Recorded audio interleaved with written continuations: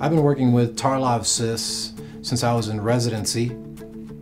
In my residency training, we treated patients who had similar types of cysts, but it was always felt that uh, Tarlov cysts themselves were not treatable. I've performed surgery on over 600 patients. We have had patients from essentially every state in the Union and from multiple other countries all over the world. I really feel that with the Tarlov Cyst Institute, we provide top-notch expertise and care for patients who are seeking assistance and are severely symptomatic and not receiving the treatment they need and deserve elsewhere.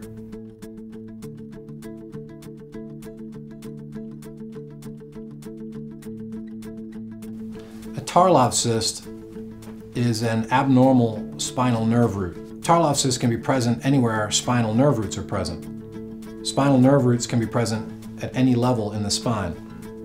And essentially what happens is spinal nerve roots are connected to the spinal sac and spinal fluid from the spinal sac enters into the spinal nerve root and circulates there and exits. That's normal.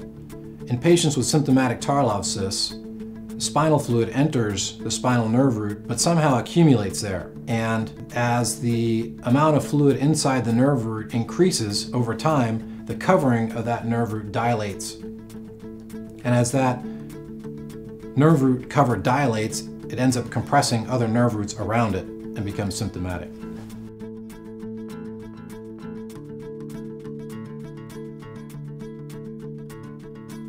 Tarlov cysts are diagnosed mainly with imaging studies. As the technology for imaging has improved over time, more and more patients have uh, become aware that they actually have a symptomatic Tarlov cyst.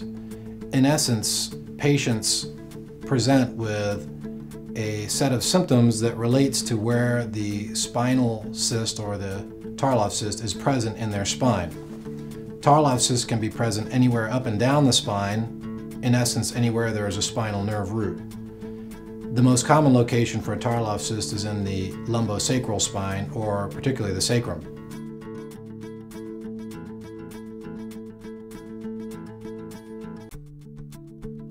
I prefer a surgical approach for treating Tarlov cysts.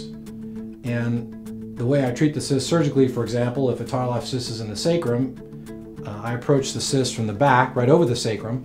I can then open each cyst, identify where spinal fluid is getting into the cyst, and stop that flow of fluid.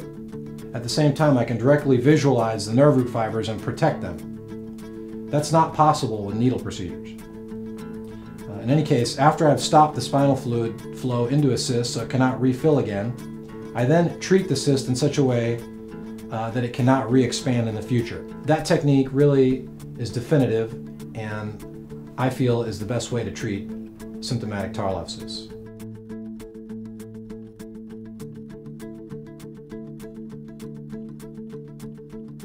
There's a couple ways to get in contact with me and also to get much more information on Tarlov cyst disease. One is by either contacting my office and sending me their films so that I can look at them and then talk with the patient on the phone, or they can contact the Tarlov Cyst Disease Foundation and get good, solid uh, information about their pathology and where to go for help.